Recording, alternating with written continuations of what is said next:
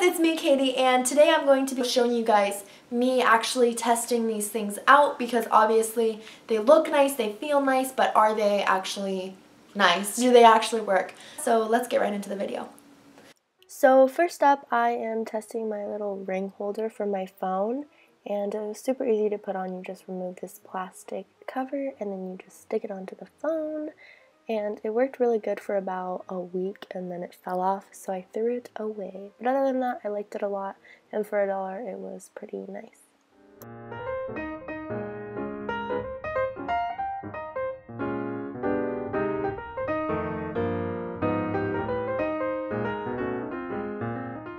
So the next thing I tested out was this AOA um, makeup remover and as you can see, I just opened it and I'm trying not to talk like, too fast so you guys can see me doing it.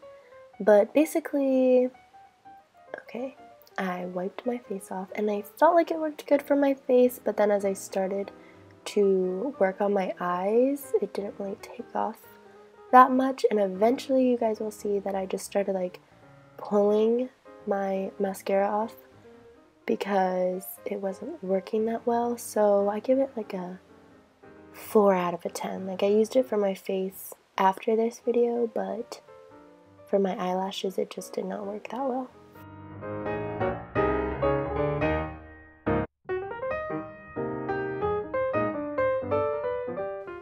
Okay, the next thing I tried was this eyeliner and it was by Line Exact, I don't know.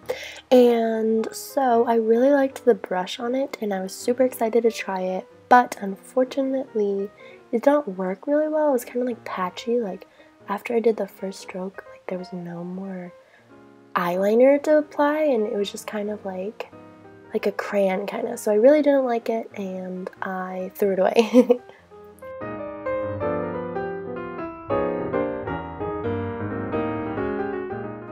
Next up I tried the blending egg and I think that it works better for foundation that is liquid foundation, not a stick like I use. But however, I did like it. So.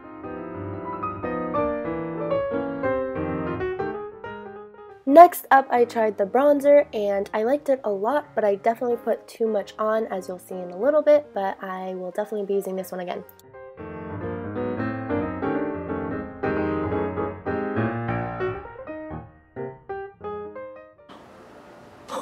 My gosh. What? It's just really pigmented.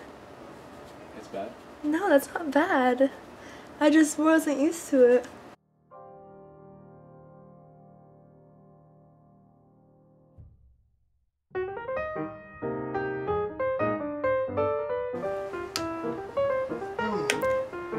I like it.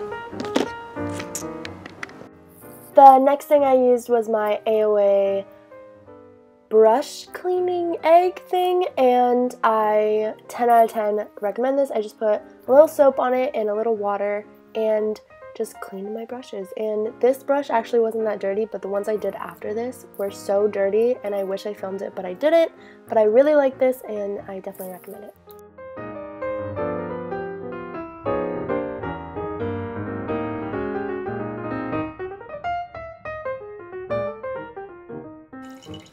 Cleaned it pretty good.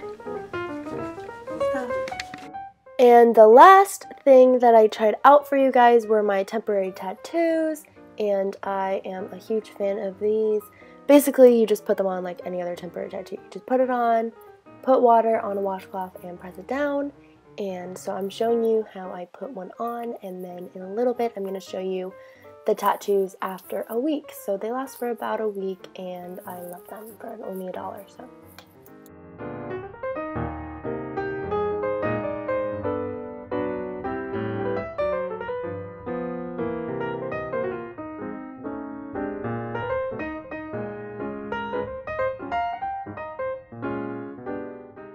So this is the tattoo after a week. As you can tell, it's barely there.